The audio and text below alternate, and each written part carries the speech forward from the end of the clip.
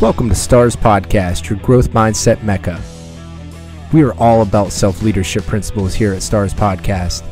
Our guests come from all over the world with very unique stories of how they hack their way into success. As you'll quickly find out, nothing happens overnight. And as always, enjoy the journey. This episode is brought to you by NF Daddy's NFT Project. We are five dads with a shared why, a passion to help others safely enjoy the NFT and crypto space just as we all have. This project symbolizes how hard work and collaboration can achieve a dream. The NF Daddies team is focused on the mental and physical well being of our community while promoting NFT and crypto literacy through the NF Daddies Academy. Our mission is to help launch 100 NFT projects and onboard 1,000 of our friends. That's right, 100 projects, 1,000 friends into the NFT space. Check us out, nfdaddies.io, and you can find us on all of our socials at nfdaddiesnft. Okay, can you hear me? Oh, yeah. I got you. All right, yeah. Sorry about that. this no problem like at all. A course and a half to try to get through. Oh, to get onto Zoom? Yeah, because like I used it for my daughter's school when she was in school, but the laptop, like my desktop doesn't have a webcam, and the webcam I have on my laptop, it, it wouldn't turn on or wouldn't work. And I thought the privacy settings were on or something, but uh-huh. I don't know. So I just clicked it and got in. So you weren't sitting here waiting for me getting mad. Ah, don't even worry about it. I'm not mad. It's Friday. I'm sitting here doing a podcast with you. I am totally good. Oh, yo, did you hear that Spottie WiFi song with Bun B? Heck yeah, I did. Oh my god, bro! I was like, yo, that's that's amazing, dude. I went and spent like 600 just now. Did you really? His, yeah, I bought one of his songs and now I'm talking to him, trying to make him a hoodlum. Nice. Oh my God, that'd be so cool. Yeah, he's incredible. Dude, I mean, his music, I'm from Houston originally, right? So down there, we listened to Bun B a lot and we listened to chopped and screwed music, a lot of different kinds of like hardcore rap music. But like, I haven't heard something like that in a while, man. That just took me back. It was like nostalgia. Mm hmm. Yeah, I'm not familiar with chopped and screwed, like the the genre. I don't know what that means. Um, so you know what trap music is? Mm-hmm. You know what dubstep is? Sorta, yeah. It's basically the same thing. So in the South, like um, we take rap songs and they like you know how everything they say in the South is everything goes slow, like mm-hmm. you drive slow, everything slow. So they slow the music down and then a DJ will chop and screw it, which means like it's almost like a DJ spinning a record in a sense so they'll like slow down a song and then they'll play it real slow like if you want to just go to youtube and type in um mike jones chopped and screwed or or trill uh chopped and screwed or uh even bun b chopped and screwed there's so many bun b songs and it's i don't know if you'd like it or not it's like you kind of got to grow up around that music but it to me i love it yeah i won't be able to play it on here but yeah no no no i, I just i just here. wrote it yeah i just wrote it down to uh to look up. Cool. Well, I'm just gonna do the quick intro and then we'll jump right in, or if that's all right with you. Yeah, yeah, yeah, of course. Awesome. Hey guys, welcome back. This is Ron Jordan over at Stars Podcast coming out of Rocinante Studios in Slippery Rock, Pennsylvania. Today we have a guest coming onto the show, a recent onto the NFT scene. I met him through a friend of ours, Awo, and our NF Daddies team. And I tell you what, um, I actually won one of JToons' NFTs, which I'm super happy about. I don't know if I manifested it or what I did, but I saw it's a Twitter Spaces one, and I'm just big into Twitter Spaces, and and you guys know that because of this show.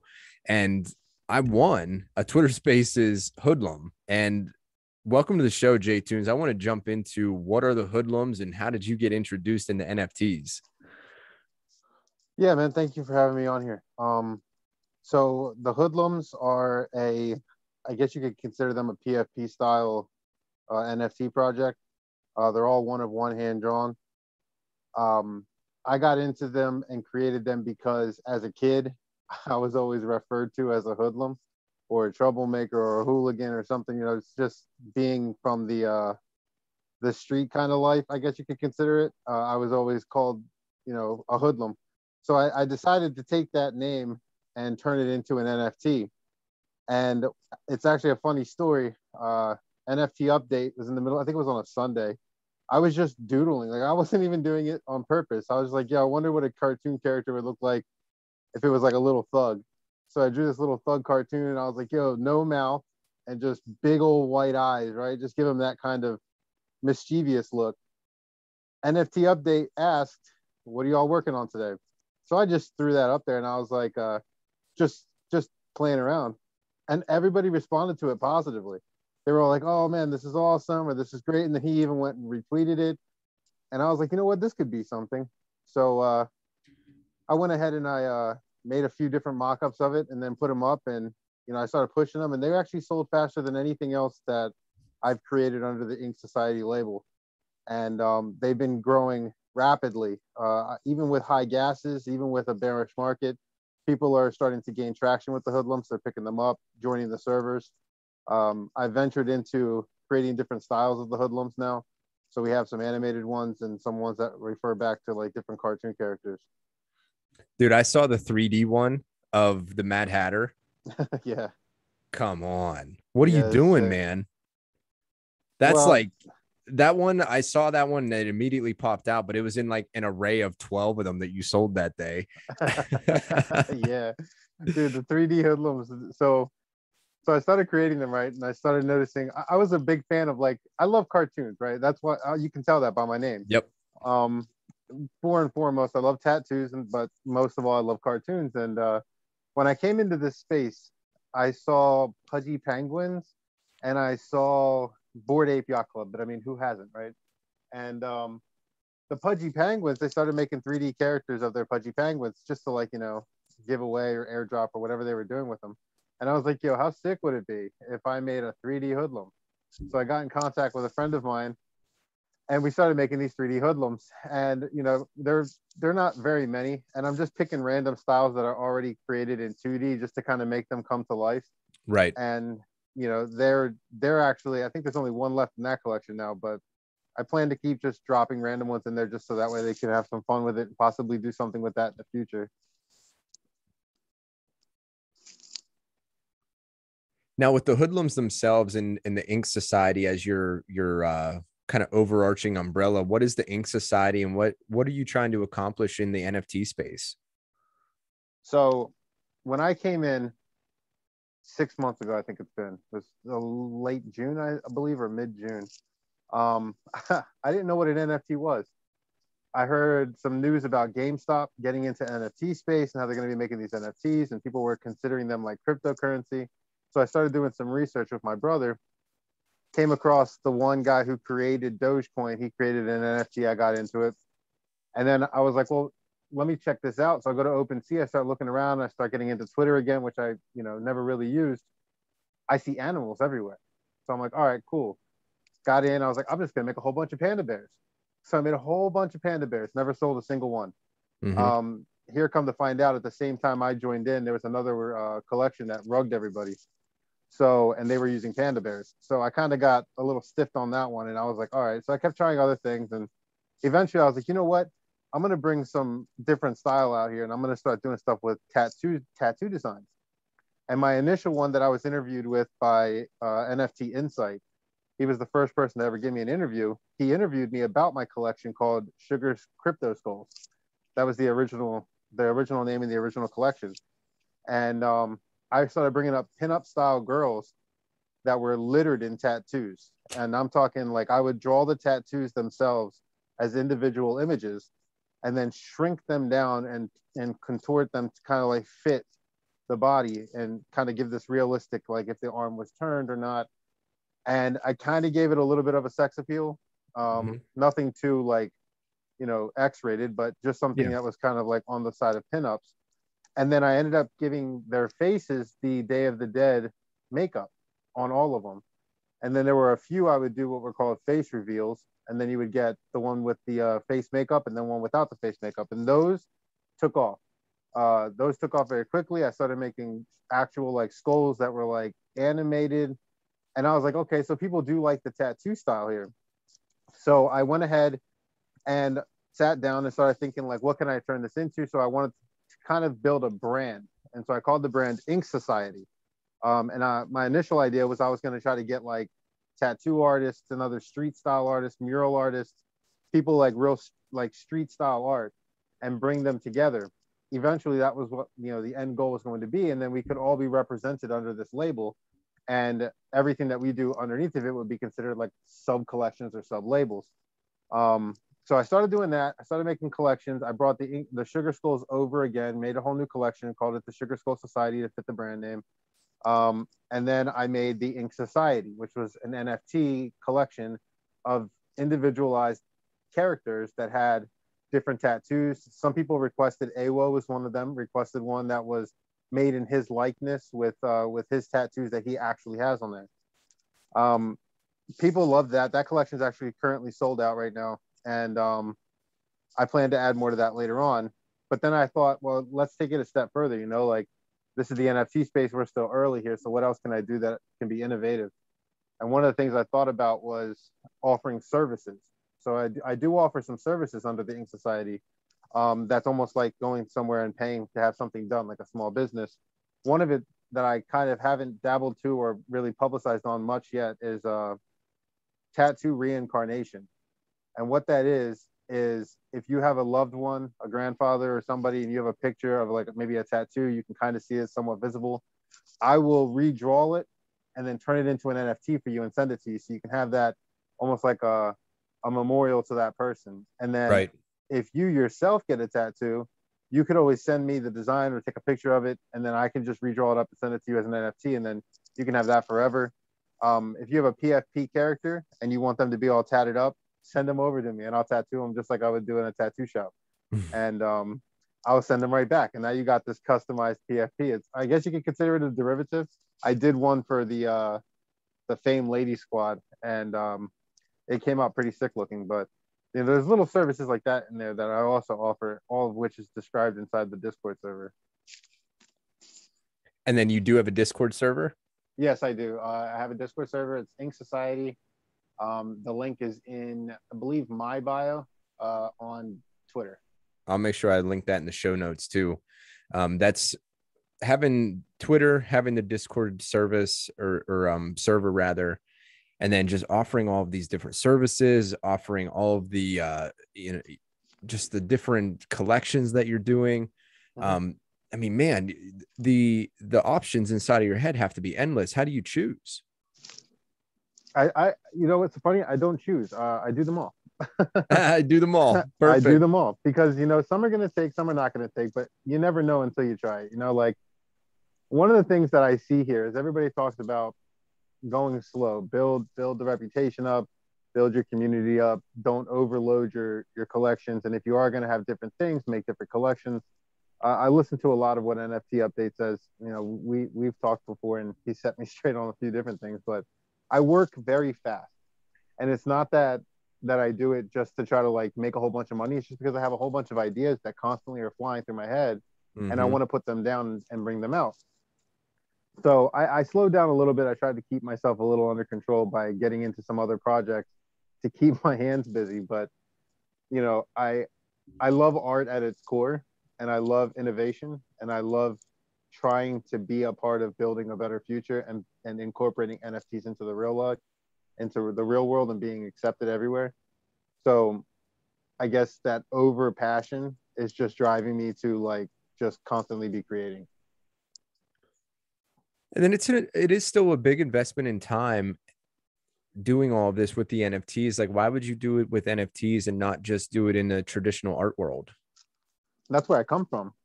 Right. I did I did this a lot. So as a kid, um, I was homeless for a while.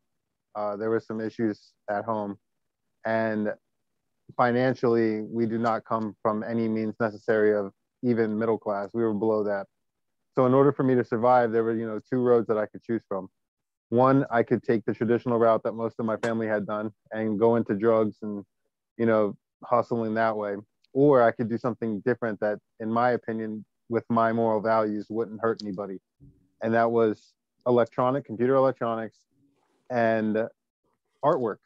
So people would actually pay me to draw them up tattoo designs. I got into tattooing. I did that for a while as well.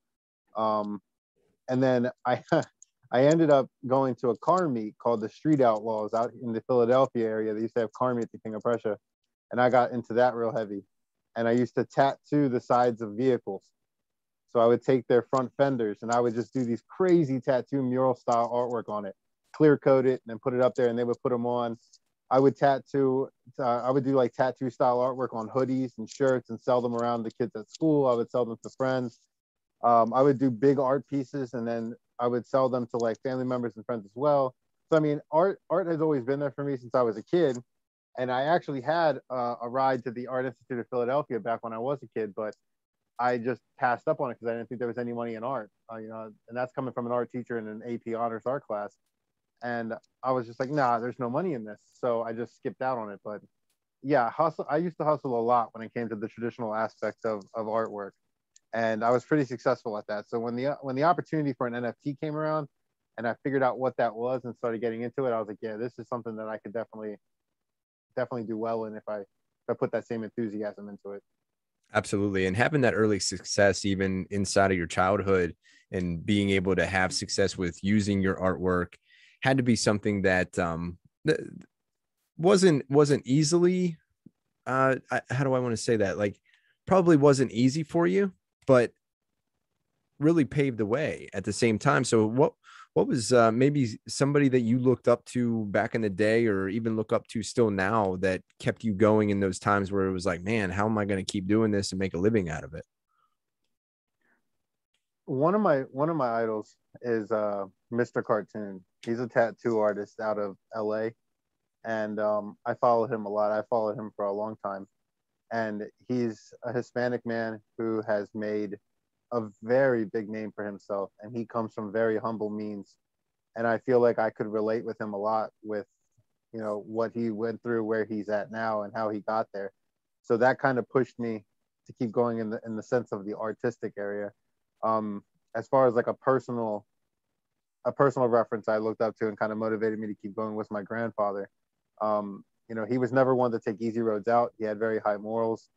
Um, he taught me a lot when it came to art. He was a painter as well. He served in the Navy, uh, and then he worked at a power plant for a while. And you know, he he kind of inspired me as a, at a young age to just to pursue the things I want to do with with as much intent to succeed as I could. And um, I took that to heart, and I've always kept that with me even after he passed away and I instill that in myself and in my kids even to today when it comes to my artwork and just just my way of life period.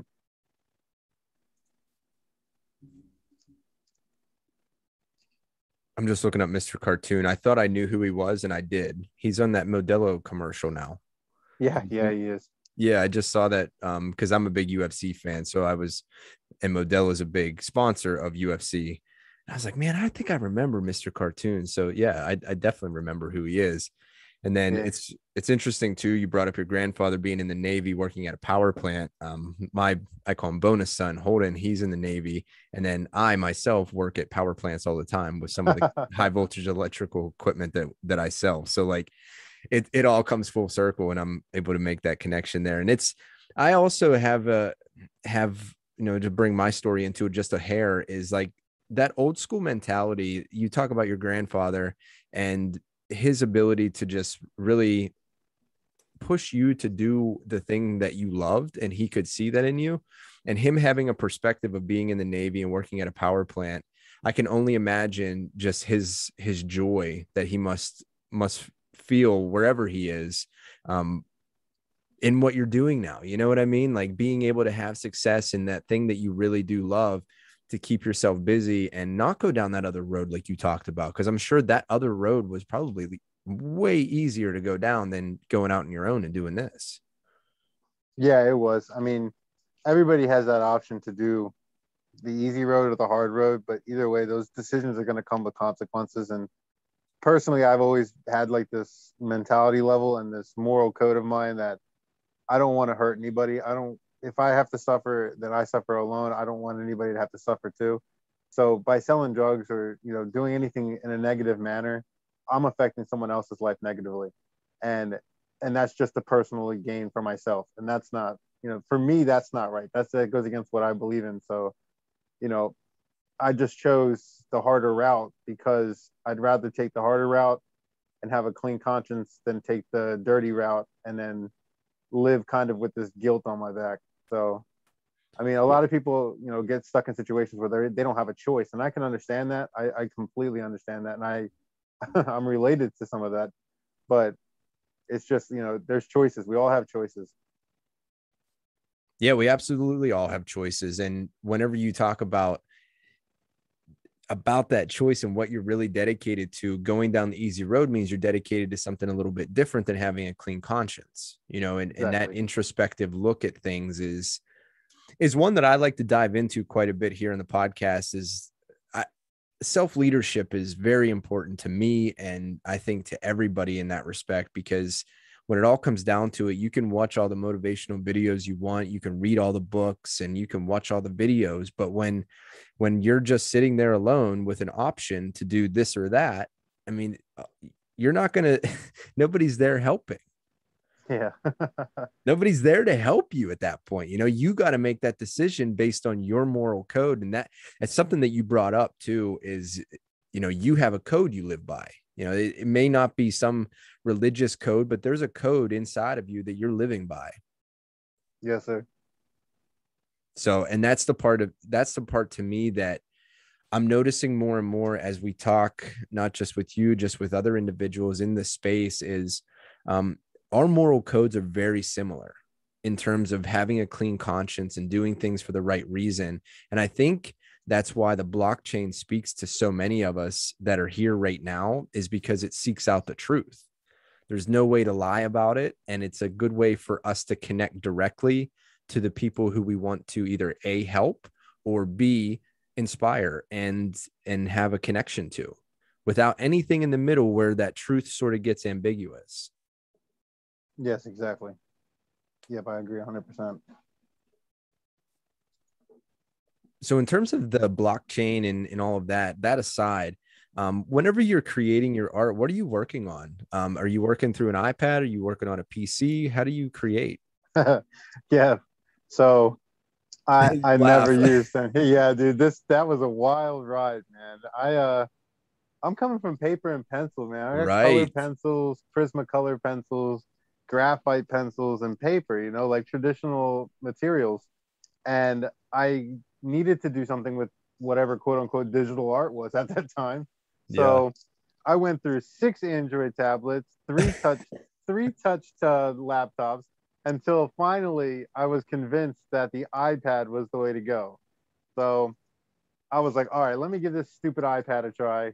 And I was like, damn it, it's great. So yeah, I got into that. I use Procreate a lot, man. That's all I live in and um, then you know a few little side applications just to add a little pizzazz to it. But yeah, dude, I got a 12.9 inch uh, iPad Pro and two Apple pencils, and I might even have to get a second iPad because I draw so much that I kill either the pencil or the iPad before I'm done, and then I have to wait on it to charge, which kills production time for me. So then I'm like, ah, what am I gonna do?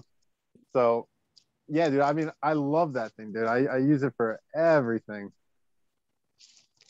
Yeah, Procreate has become the thing to use. And my God, I mean, they could sell it for hundreds of dollars if they wanted to. Don't say that. I know, but I, am just saying, like ideas. They could. I'm, I'm sure that idea is going around. Come on, yeah, everybody's using it. So, like, I don't know. It's it's really interesting to to know that we're all sort of using the same tools. Um, because you know the iPad, the pencil, and then Procreate. Between those three things, it, it has completely changed the entire landscape of, of what we do. There like you said and that's why I, I was asking that question. And i'm glad that you brought up like the, the traditional art that art supplies that you were using. You know you had to make a transition. You you had to completely learn a brand new a brand new thing. Um so that yeah. that's kudos to you on that. I mean what was the learning curve like? Did it was it pretty intuitive? I mean so I kept messing up a lot because um you know it's such a smooth glassy surface. So my hands kept touching things. I kept backing out of things, erasing things, and then these lines could I could never get the lines to be straight or curved. So I ended up getting a, a screen protector for it that almost gave the same replica paper and um, that helped tremendously. And then I just sat for a week, and then I, to get over that learning curve, I just watched so many YouTube videos, like little tips and tricks, like things you can do to get the line straight. Um, but after a while, I kind of took to it pretty quickly because I'm also uh, inclined tech- technologically. So I have a degree in um, in art with a concentration in computer information technology and computer uh, engineering. Mm-hmm. So understanding that basis of it was pretty simple to me but to combine my art skills with my technological skills that was just crazy for me because that's like yeah. the best of both worlds. That's why i'm so in love with this because it's like if you spent your whole life obsessed with these two things and then they came together to make one thing tell me you wouldn't be over obsessed you know? Oh, absolutely. Absolutely. yeah whenever baseball because uh, I'm I was obsessed with baseball growing up, and then NFTs I'm I'm now obsessed with, and then Candy Digital came onto the scene, and I'm like, yeah, that's perfect.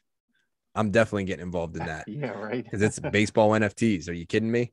So yeah, and and like you were saying, like you know, your background is in the in computer engineering, and now you know being an artist, those two worlds combining, and then you know you you just sort of taking what you already know, which is the paper side, and knowing that you know you're touching the screen and screwing things up and you're like man how do i solve that? Okay well let's get a screen protector. Let's see how that does. You know you go through the screen protector. Okay that's good. Now you're like well now i'm drawing too much because now i need other other pencils. And it's it's a constant evolution of this process. And you know you coming onto this show and talking about that process is something that I, I applaud you for because like you just talking about it and doing it is going to help the next generation come through and be able to do it better and faster. Um, and that's really the goal isn't it? For us all to grow as as a community and um and help each other out. Exactly yeah. Anything for if i can help kids or future generations in any way learn something better than i can do it then i'll do it. Mm-hmm. um you know i'll take the trial and errors so that way someone else can just get straight to the uh straight to the success part of it heck yeah heck yeah so outside of nfts and and doing all of the illustrating and all of the things that you're doing um fitting in time for your family and and other things has that has that been a struggle for you have you have you been able to master that where I know I don't I don't like to say work life balance because there's really no balance. It's just you and what what works for you. So like have you been able to figure that part out yet for yourself? Um yes, uh it's it's this year has been a wild ride. Um you know there's been massive changes to my personal life here at home that I had to go over as well and try to get the situation of doing the art that I'm doing with the NFTs and and the desire to want to be successful at it and kind of intertwine that with this new lifestyle that I've had to come to learn um, over the past year and kind of make them work together or in synchronicity. And it's been a challenge i'm not going to lie to you. There's been some times where it's like i'm i'm too concentrated on the nfts i'm not paying attention over there. Or i'm paying attention over there and i'm not paying attention to the nfts or you know the structure and the balance between it has been an issue a little bit. But over the past six months now that i've been in the space i've kind of been slowly transitioning into this um i guess you can call it like a schedule um so yeah. like i do this i do that then i stop i take a break almost like giving myself a reward system and as funny as it sounds the work is my reward because to be able to sit down and draw is not only the reward but also a point of relaxation for me so, you know, if I if I do the laundry, do the dishes, get this done, help my wife do this, then I can sit down for an hour or two and draw. A you know, thousand percent. Yep. It's it's about structure, I guess. Yeah, I was actually just talking to one of our other guys on the team about this was because he's like, dude, how how do you how do you maintain everything that you're doing? And I said, it's because I have a schedule. Honestly, yeah. like my just as you talked about your drawing is sort of your reward me doing this is my reward like podcasting is my reward editing videos is my reward like i gotta i gotta pay the bills yet bud you know like yeah, i gotta true. i gotta make sure that i have the continued freedom that i do right now um and the way to do that is i need to make sure that that's all taken care of too So like you have to really schedule. And when you do fall out of the schedule, to me, like I would really beat myself up over it. Like I can't believe like you're doing that. How could you forget this? And it's because I wasn't fully plugged in to one or the other. And that's the way you got to do it is you just have to structure it and have some purpose behind your time. Exactly. Yes, I agree. Yeah.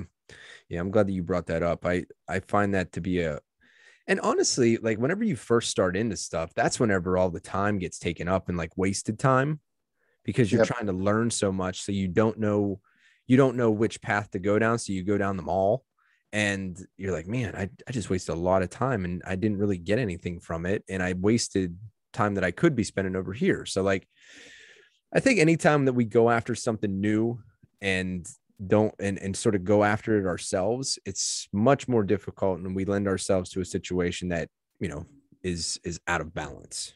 Exactly yes. Yeah that that um that learning curve man i tell you. Because like i said when i came in here i did the pandas right? So i didn't know what a generative project was man. I'm yeah. telling you i felt like a dummy because i'm sitting there and i'm like all right so a gen project is basically just hand drawing the same image over and over again with different costume pieces mm-hmm. and different colors. So I did that for the Panda Toons, and I made about a hundred, sold two, and deleted all of them.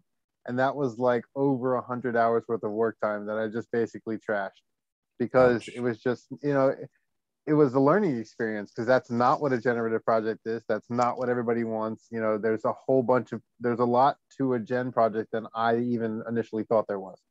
So in the course of learning it and doing it, I give mad props to the artists who are sitting on these gen projects because that is some meticulous work that needs to be done and definite repeats over and over again. So anybody looking to do gen projects, just do research on that first before you go jumping into it.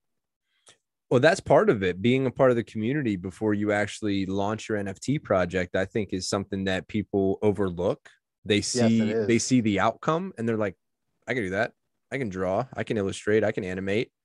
And then they launch it, and it's like you're not plugged into anybody or anything inside of the space. So how do you plan on a selling any of it or or b like connecting to the group? Like if you don't even know what WAGMI means, like w- what do you do? Uh, yeah. like what does GM mean? I don't know.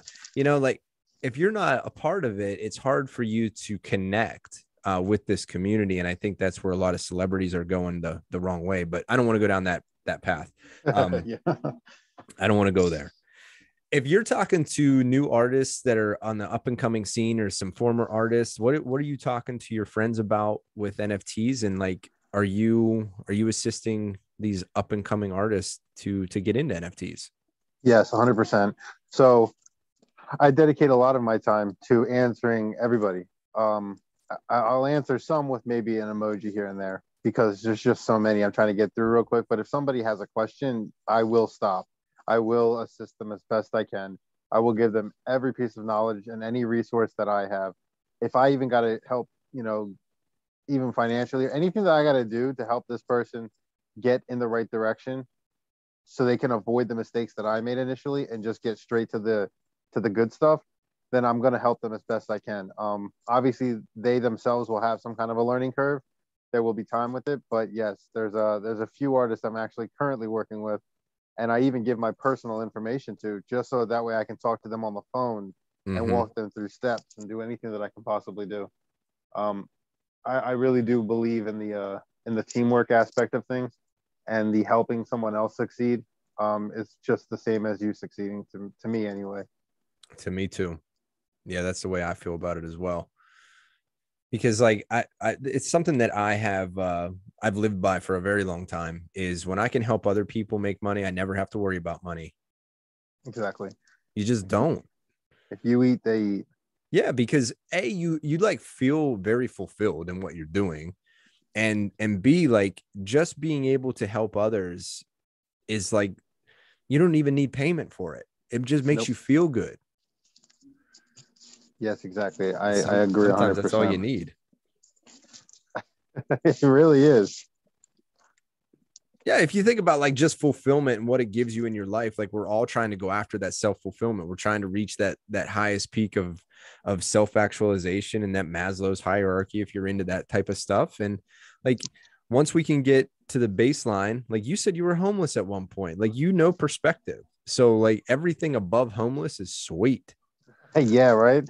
I never complain, dude. I never complain.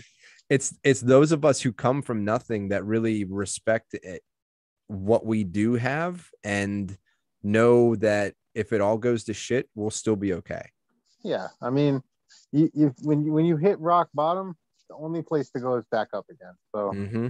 you can't really go further than that. And you know, living life being more appreciative for the things that you have instead of the things that you want is another way to look at it.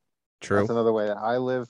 And I, I'm not a materialistic person. I've never been a materialistic person. So for me, my materialistic quote unquote would be if somebody else is happy. If I can make someone else smile or laugh or tell them a joke, I will because that right there is worth more than money to me. You know, it's just that's my personality. I just I'm not a people pleaser, but I am a people make happier. You know what I mean? Uh huh. No, I I know exactly who who you're talking about. Yeah, definitely. Um, so I appreciate you coming on the show. Where can everybody find you at? And uh, just drop your socials and maybe uh, where they can find more about the Ink Society. Yes. So uh, right now, currently, you can find any information on my Twitter page. Um, my Discord is chock full of all kinds of official links and everything there for all of the collections. My link tree is also within my Twitter. Um, and there is a website currently under development for uh, the Ink Society as a whole, which will break down the sub collections as well. Awesome. And, and your Twitter handle is JToons, correct? Yes, sir. All right you guys heard it. JToons, Twitter, check him out. All of the info for his Discord as well as the collections, those are also in the Twitter bio, in the link tree, and get into the Discord. I'm in that Discord. Um, I'm always looking at the announcements. He's always has something going on, like literally always something new dropping. Um, he's got so many different collections and so many cool pieces of art. Um, I have the one of one Twitter Spaces one, so booyah! yeah, you do. and uh, so appreciate that. I won that on a giveaway, and he's constantly doing giveaways. And just you know, check him out. He's doing good things out there, furthering along the uh, the NFT space. And um, thank you for coming on the show, JToons. Appreciate you, brother. No problem, and thank you. All right, guys. As always, enjoy the journey. Take care. Thank you so much for sticking here until the very, very end. If you wouldn't mind just leaving a comment or subscribing or liking the podcast or wherever you downloaded this, maybe it was from YouTube, um, I would love for that and take an extra couple seconds to give us some more love. Even though you have listened here to the very, very end, we appreciate that so much. Could you also go over to thestarspodcast.com if you found any of this uh, really interesting and you wanted to dive in a little bit further? or go to our Discord, which is Rocinante Studios NFT. Enjoy the journey.